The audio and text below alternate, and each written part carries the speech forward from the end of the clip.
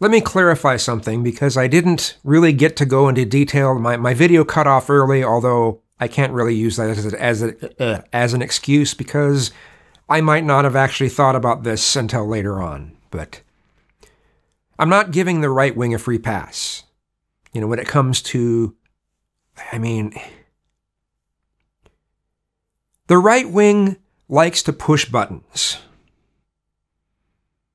Okay, they're the ones that will go into the middle of a, uh, they'll go into the middle of, of the most progressive part of a big city and put up a sign, wear a sign that says, why don't you hug a Trump supporter? Knowing exactly how they feel about it, but you want to push these buttons. You know? Now, I understand it's for the reason of, of showing how rabid people are in some of these progressive places but you're still purposely trying to push buttons. The results you're getting are actually what you want. You're not going out there genuinely to to try to let's say get get hugs from uh, from progressives. You're not really interested in that. You're interested in getting the bad reactions, right? There's that type of thing. Then there's comment sections and forums. Okay?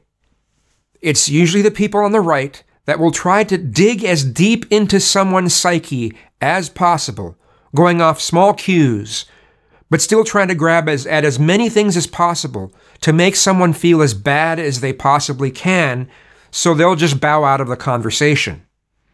And they go, well, they just self censored because nothing I say can make them feel anything.